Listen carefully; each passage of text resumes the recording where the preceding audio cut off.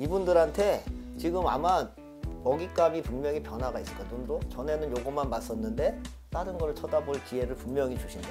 꼭 변화를 놓치지 마시고. 놓치면 안 돼요. 이번에는 하반기에 또 선생님이 예. 뽑아주시는 또 좋은 띠, 또 예. 어떤 띠가 있을까요? 예, 범띠요. 범띠 예. 축하드립니다. 일단 범띠가 뽑아주신 이유가 있을 것 같아요. 예, 범띠 기회가 들어와서 사람이 좋은 인연이 들어와서 내가 못 보던 것을 보게 하고 새로운 곳으로 눈을 돌려서 새로운 문을 열 수 있는 기회를 준다는 얘기가 나와요. 좋은 인연이 들어오면서 음, 바뀌는 형국이라고 하는데 이것도 근데 알고서 가야지 내가 이런 사람이 들어왔을 때 알아야 되는데 전에는 고집으로 나서 고집 때문에 알면서도 놓쳤어. 알면서도 내가 안 바라봤다고 그래요. 예. 그러면 나이대별로 좀 자세하게 보자면 예. 24살 너무 어리시니까 예. 36부터 좀 예. 말씀을 해주시겠어요? 서른여섯이라 예 직장 상사 내가 상사를 상사한테 고집센 어 직원이야 말을 듣는 거 같지가 않아 상사가들이 봤을 적에는 고집이 더럽게 세고 말도 안 들어 쳐먹어 어 근데 내가 이제는 고개를 조금 숙이면서 아 상사 말을 들어야 되겠구나 하면서부터 상사로 인해서 상사가 바라보는 눈이 달라지면서 나를 키워주는 형국이라고 오, 좋게 내 스스로에서 변화가 생겨서 어?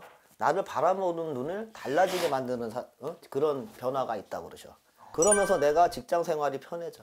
좋네요. 어, 편해진다는 소리나.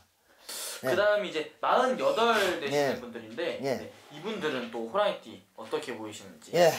나이로 보면은 지금 마지막 기회라고 하셔. 특히나 장사나 사업이나 문을 열어줘야지 내가 이제 나이 먹어서 먹고 살 거를 그쵸? 여기 이쯤에는 이제 자리를 잡아줘서 모아야 되는 시즌이란 말이에요. 나이가. 근데 이번에 망하면은 큰일 나죠. 어? 이제 나이대가 있기 때문에 두 번, 세 번 기회는 없어요. 이제 마흔여덟 이분들 올해 꼭 변화를 놓치지 마실래. 놓치면 안 돼요. 이분들한테 지금 아마 먹잇감이 분명히 변화가 있을 거야. 눈도 전에는 요것만 봤었는데 다른 거를 쳐다볼 기회를 분명히 주신대.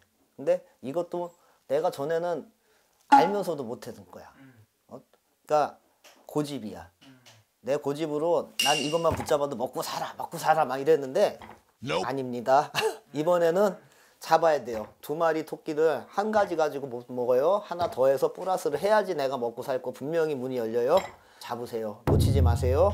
그 다음에 60세 예. 마지막 호랑이띠 분들 예, 60세 분들 외롭다, 고독하다. 이분들을 보면 좀 외로워. 외로울 수준인데 자, 꽃이 핀다. 내가 슬슬 이제 재미 붙일 일이 생겨. 전에는 혼자서 돌아다니고 혼자서 즐겼다 그러면은 주변에서부터 나를 찾는 이가 는다 그러셔. 어, 나랑 함께 같이 가자고 뭐 작은 거를 하더라도 같이 해볼래? 아니면은 어디를 놀러 가더라도 이거 취미 생활을 같이 할래? 어?